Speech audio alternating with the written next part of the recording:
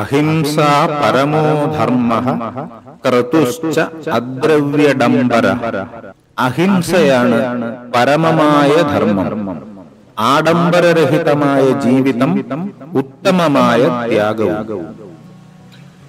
ആത്മന പ്രതികൂലാനി പരേഷാം ന സമാചരേ നമ്മോട് നാം തന്നെ ചെയ്യാത്ത കാര്യങ്ങൾ മറ്റുള്ളവരോടും ചെയ്യരുത്. ആനുഷംസ്യം പരോധർമ്മ. ദയ സർവോത്കൃഷ്ടമായ ധർമ്മമാണ്.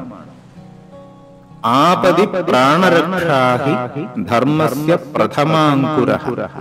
ആപത്തിൽ നിന്നു രക്ഷിക്കുന്നത് ധാർമ്മികതയുടെ പ്രഥമ രൂപമാണ്.